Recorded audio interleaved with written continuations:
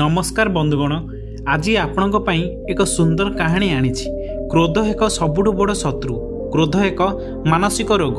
ଯଦି ଆପଣ ଛୋଟ ଛୋଟ କଥାରେ ରାଗୁଛନ୍ତି ଅନ୍ୟ ଉପରେ ବିରକ୍ତ ହେଉଛନ୍ତି ନିଜକୁ ପରିବର୍ତ୍ତନ କରିବା ପାଇଁ ଏକ ସୁନ୍ଦର କାହାଣୀ ମାଧ୍ୟମରେ ନିଜକୁ ପରିବର୍ତ୍ତନ କରିବେ ବୋଲି ମୁଁ ଆଶା କରୁଛି। ଜଣେ ସାଧୁ ଥିଲେ ଯିଏକି କ୍ରୋଧକୁ ସବୁଠୁ ବଡ଼ ଶତ୍ରୁ ବୋଲି ଭାବନ୍ତି।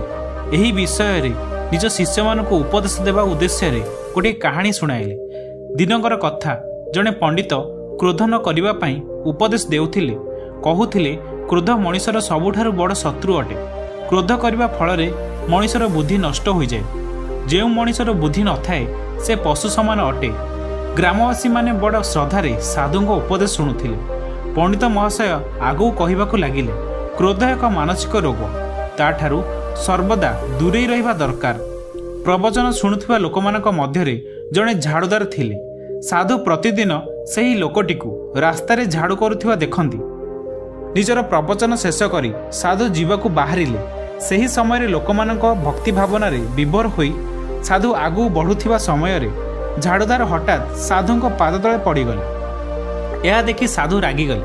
କହିଲେ ମୂର୍ଖ ତୁ କୋଉଠୁ ଆସି ମରୁଛୁ? ଖାଦ୍ୟ ଗ୍ରହଣ କରିବାକୁ ଯାଉଅଛି।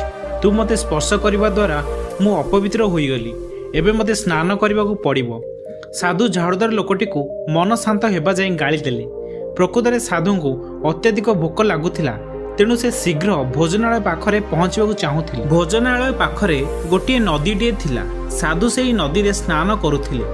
ଝାଡ଼ୁଦାର ସେହି ସମୟରେ ସାଧୁଙ୍କ ଆଗରେ ଯାଉଥିଲା। ସାଧୁ ପଚାରିଲେ ପୁତ୍ର କୁଆଡ଼େ ଯାଉଅଛୁ? ଝାଡ଼ୁଦାର କହିଲା ଆଜ୍ଞା ନଦୀରେ ସ୍ନାନ କରିବାକୁ ଯାଉଛି। ସାଧୁ ଆଜ୍ଞା ଆପଣ ପ୍ରବଚନ ଦଉଥିଲେ କି କ୍ରୋଧ ଏକ ମାନସିକ ରୋଗ। ମୁଁ ସେହି ରୋଗୀକୁ ଛୁଇଁ ଦେଇଛି। ଏବେ ମୋତେ ସ୍ନାନ କରିବାକୁ ପଡ଼ିବ। ସାଧୁଙ୍କୁ ଅତ୍ୟନ୍ତ ଲଜ୍ଜିତ ହେବାକୁ ପଡ଼ିଲା। ତାଙ୍କ ମୁଖରୁ କୌଣସି ଶବ୍ଦ ବାହାରିଲା ନାହିଁ। ସେ ପ୍ରକୃତରେ ଅନ୍ୟକୁ କହିଥିବା ପ୍ରବଚନ ନିଜ ଜୀବନରେ କାର୍ଯ୍ୟରେ ଲଗାଇ ଏହି କାହାଣୀରୁ ଆମେ ଶିଖିଲେ ଯେ କ୍ରୋଧ ଏକ ମାନସିକ ରୋଗ। ତାଠାରୁ ସଦାସର୍ବଦା ଦୂରେଇ ରହିବା ଉଚିତ। ଡିଅର ଭିୟର୍ସ ଏହି କାହାଣୀଟି ଆପଣମାନଙ୍କୁ କିପରି ଲାଗିଲା କମେଣ୍ଟରେ ନିଶ୍ଚୟ ଜଣାଇବେ।